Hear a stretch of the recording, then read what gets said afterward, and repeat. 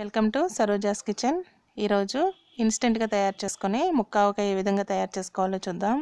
ఈ పచ్చడి చాలా టేస్టీగా ఉంటుంది. చాలా తక్కువ టైంలోనే తయారు చేసుకోవచ్చు.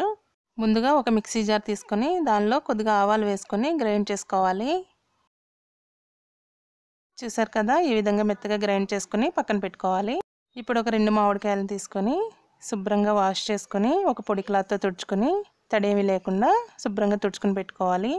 ఇప్పుడు ఆ మామిడికాయల్ని ఈ విధంగా చిన్న చిన్న ముక్కలుగా క్యూబ్స్ లాగా కట్ చేసుకోవాలి. ఇప్పుడు ఆ మామిడికాయ ముక్కల్ని ఒక బౌల్లోకి తీసుకొని దానిలో నాలుగు స్పూన్ల సాల్ట్ వేసుకోవాలి. సాల్ట్ కొంచెం తక్కువే వేసుకోవాలండి. చాలకపోతే మళ్ళీ కలుపుకోవచ్చు. సాల్ట్ ఎక్కువైపోతే అసలు తినలేం కదా. ఇప్పుడు దీనిలో ఐదు స్పూన్ల కారం వేసుకోవాలి. ఇప్పుడు దీనిలో నాలుగు స్పూన్ల ఆవు పిండి వేసుకోవాలి.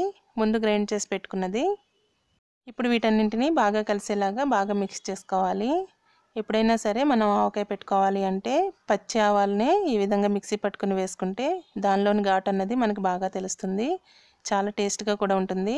ఇప్పుడు దీనిలో పది పదిహేను వెల్లుల్లి రెబ్బల్ని ఈ విధంగా పొట్టు తీసేసుకుని వేసుకోవాలి. ఇప్పుడు దీనిలో ఒక కప్పు ఆయిల్ వేసుకోవాలి. ఒక కప్ అంటే దగ్గర దగ్గర హండ్రెడ్ గ్రామ్స్ ఉంటుంది. ఇప్పుడు ఈ ఆయిల్ అంతా ముక్కలకు పట్టే విధంగా బాగా మిక్స్ చేసుకోవాలి. మీరు కావాలంటే కొద్దిగా మెంతిపిండిని కూడా యాడ్ చేసుకోవచ్చు. నేను వేయలేదు.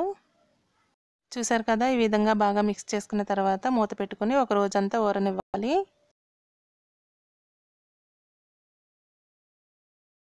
చూసారు కదా ఒక రోజంతా ఊరిన తర్వాత పచ్చడి ఈ విధంగా రెడీ అవుతుంది.